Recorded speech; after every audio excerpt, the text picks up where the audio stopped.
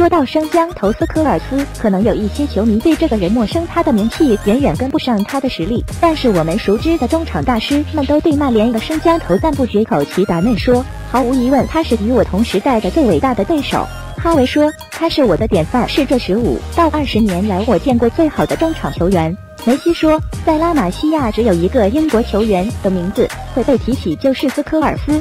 伊涅斯塔则一直将与斯科尔斯交换球衣视为自己的一大心愿。斯科尔斯是一名攻击型前卫，攻击手段极为多样，既能够带球进攻，又能够伺机传出致命的好球。最可怕的是斯科尔斯后插上进攻的能力，在将球分给队友后，他能够鬼魅般插入禁区，抢到最好的攻击点，完成致命打击。说斯科尔斯是最全面的中场大师，没有人会反驳谦逊低调的生姜头斯科尔斯。从小看起来外形就很瘦弱单薄，加上一头金色的头发，因此得了萝卜头生姜头的外号。他和足球最初结缘是父。母希望他通过足球强健身体。步入中学时，在十一岁的斯科尔斯加入了奥海姆竞技俱乐部，在这里他曾一个赛季攻入七十个进球。一九九一年，斯科尔斯加入曼联青训十九九二年，斯科尔斯和大卫贝克汉姆。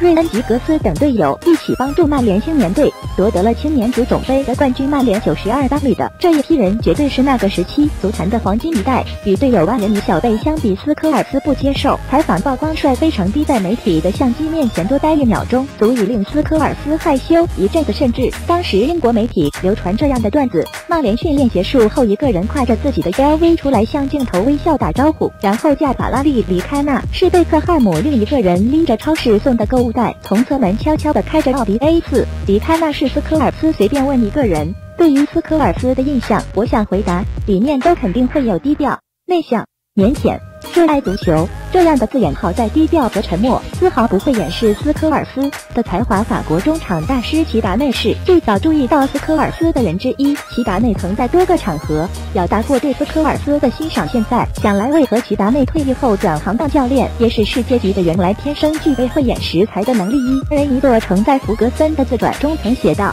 我永远都会记得保罗斯科尔斯到队的第一天。弗格森那时候说自己觉得这个瘦弱的小男孩在曼联不会有任何机会。”这在之后成了俱乐部一个经典的笑话。斯科尔斯的伯乐是曼联的青训学院总监埃里克·哈里森，也是这个暴脾气老头一手打到了九十二班。在埃里克眼中，斯科尔斯是难得一见的天才，他也敏锐发现了生姜头被身材劣势磨掉了自信。为此，埃里克曾单独给斯科尔斯开小灶，尤其是陪他一遍一遍的看坎通纳的录像，指导他如何护球，如何观察场上形势，如何避免身体接触，如何寻找空当后面的鼓，是大家是这。般的熟悉生姜头，一步步成为了红魔的绝对核心荣誉，也接踵而来。一九九八年九月，九赛季曼联实现了三冠王。韦列斯科尔斯在联赛中出场三十一次，打进六球；欧冠出场十次，打进四球；足总杯六次出场，打进一球。随后的一千九百九十九杠二百零赛季，斯科尔斯各项赛事出场四十五次，打进十二球。尤其是在当赛季英超第三十轮曼联四比零击败布拉德福德的比赛中，斯科尔斯打进了一粒经典的神。仙球一脚爆射破门，技惊四座。当然，斯科尔斯虽然一向低调沉稳，脾气一上来也是窃盗飞起。二零零一到零二赛季，曼联罕见的四大皆空。英超第十二轮，曼联客场一到三负于利物浦，弗格森没有让斯科尔斯首发，结果在两天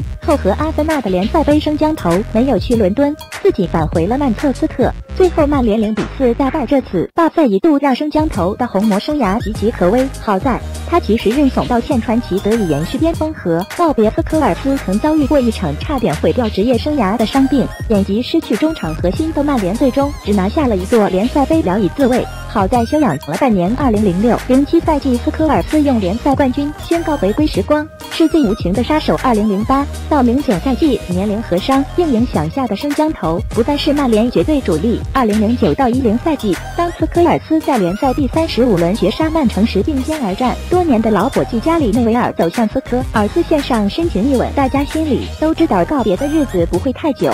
这之后，红魔再次与巴萨决战欧冠之巅，而为大家记住的是弗格森颤抖的双手，以及巴萨令人振奋的庆祝这场比赛。还有值得一提的是，赛后梅西、哈维、伊涅斯塔。